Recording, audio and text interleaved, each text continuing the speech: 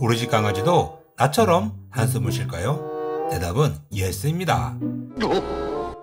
강아지도 숨을 들이켰다가 내뱉으면서 사람처럼 한숨을 휴 하고 쉬는데요. 연구 결과에 따르면 한숨 쉬는 이유는 흥분한 마음을 진정시키거나 가다듬기 위해 나오게 되는 것이라고 합니다. 진정작용을 한다는 것인데요. 우리가 힘든 일을 한 뒤 한숨을 돌리는 것이나 절망적일 때 한숨을 쉬는 것으로 진정을 얻고자 하는 것과 같은 의미입니다. 그리고 우리 강아지들도 아주 다양한 이유로 한숨을 쉬는 행동을 합니다. 한숨을 쉴 때 강아지의 바디랭귀지를 함께 살펴본다면 더 정확한 의미를 파악할 수 있습니다. 강아지가 한숨을 쉴 때 강아지 눈과 자세를 잘 보면 이유를 더 잘 알 수 있습니다. 그렇다면 강아지가 한숨을 쉬는 진짜 이유는 무엇일까요? 반려견 행동 전문가 그리고 수의학자들에 의하면 개가 한숨을 쉬는 것은 상황에 따라 다르고 상황에 따라 그 의미가 크게 다섯 가지로 구분된다고 합니다. 첫 번째, 지쳐버렸을 때. 편안한 상태와 반대로 지쳤을 때 한숨을 쉬기도 하는데요. 산책을 오랜 시간 해서 지쳤을 때 한숨을 쉴 수도 있고 격한 운동을 하고 나서 지쳤을 때 그 자리에서 쉬고 싶어서 한숨을 쉬기도 합니다.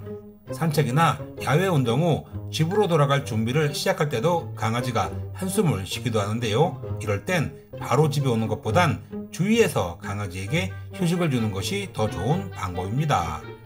두 번째, 휴식을 취할 때 자주 빗질을 해주거나 자기 전에 등을 쓰다듬어주면 강아지가 한숨을 쉬는 모습을 보일 때가 많습니다.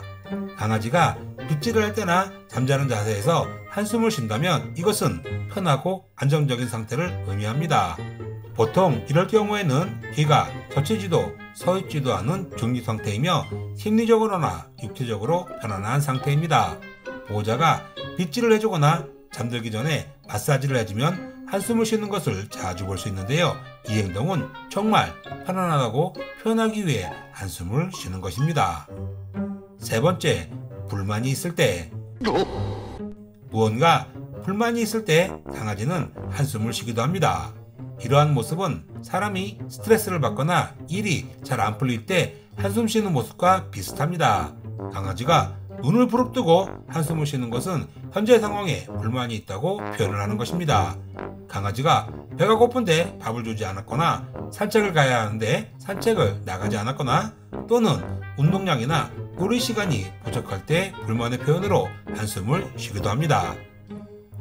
네 번째, 냄새를 맡고 싶을 때. 강아지 한숨은 산책 중에도 흔히 볼 수 있는 행동 중 하나입니다. 산책할 때 무언가를 향해 킁킁거리면 강아지가 한숨을 쉬는 것입니다. 강아지가 냄새를 맡고 싶을 때 한숨을 쉬기도 합니다. 산책을 할 때 새로운 냄새를 맡거나 호기심을 느꼈을 때 한숨 쉬는 행동을 보이기도 하는데요. 이럴 땐 우리 집 강아지가 충분히 냄새를 맡을 수 있도록 기다려주는 것이 좋습니다.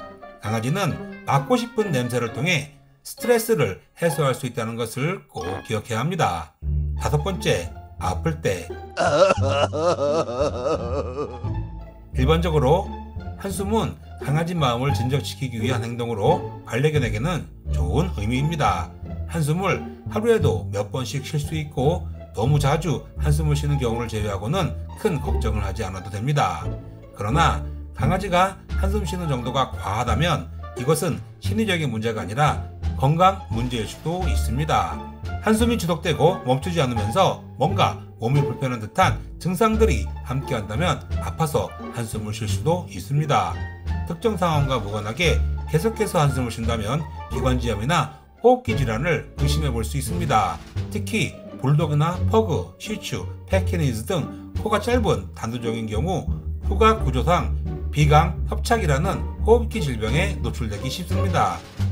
오늘은 강아지가 한숨을 쉬는 이유에 대해서 알아보았는데요. 우리 인간이 보통 부정적인 이유에서 한숨을 쉬기 때문에 우리 집 강아지도 부정적인 이유로 한숨을 쉰다고 생각하면 큰 오산입니다. 부정적인 이유보다는 좋은 이유에서 한숨을 쉴 때가 많은 것이 우리 반려견입니다.